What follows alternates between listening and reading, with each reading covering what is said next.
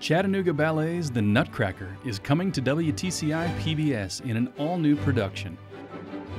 Filmed on location across Chattanooga, this is the classic holiday ballet as you've never seen it before. Don't miss Chattanooga Ballet's The Nutcracker, premiering Saturday, December 19th at 7 p.m. on WTCI PBS.